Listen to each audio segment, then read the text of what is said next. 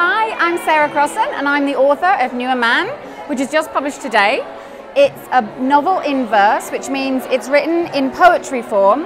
And the great thing about that is that the book can be read in about two hours. So it's not a massive investment of time, so it'll be really, really quick. Um, people are telling me that it's a book that makes them cry. Uh, it's a book about a boy who has gone to Texas because his brother is on death row um, and he has about 30 days to live. And so he's trying to establish a relationship with his brother, save his brother.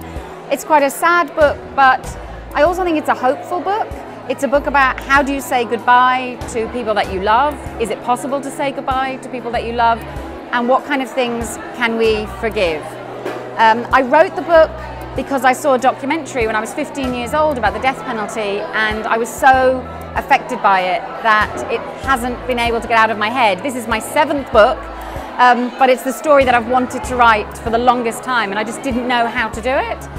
Um, I think that out of all my books, it's probably the best book so far. I hope so anyway, because if my first book was the best book, that would be really lame. It would be awful. So I hope I'm getting better. Um, read this book, don't cry too much. My mummy wrote um, this book and I hope you should read it because um, it's really good and my mummy wrote it.